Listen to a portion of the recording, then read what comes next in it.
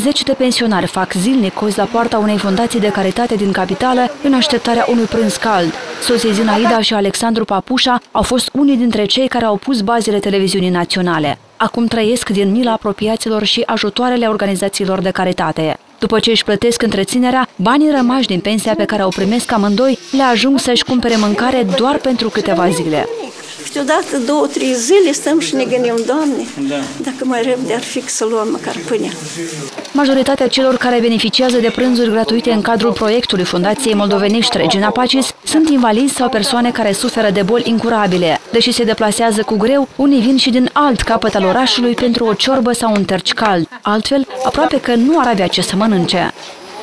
Lapte și pâine. Mai mult nimic, nici nu n-aș putea să ne, să ne permit eu așa ceva mai, mai acătăre. Кроме стакан чая или там э, овсяночку отварить, больше ничего нельзя дома сварить. Deoarece pentru mulți bătrâni acest prânz este singura masă consistentă pe zi, aceștia spun că simt în permanență senzație de foame. Спасибо. Вкусно готовят. Это хорошо, но mala.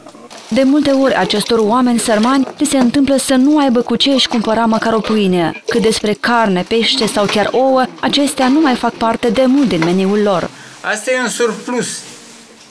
Și un mare surplus.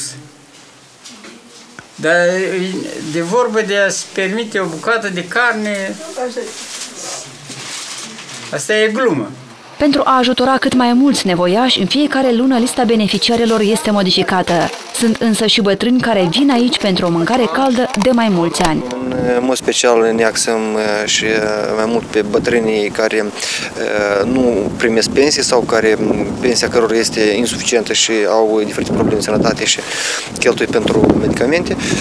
O altă categorie sunt persoanele invalide sau familiile cu mulți copii.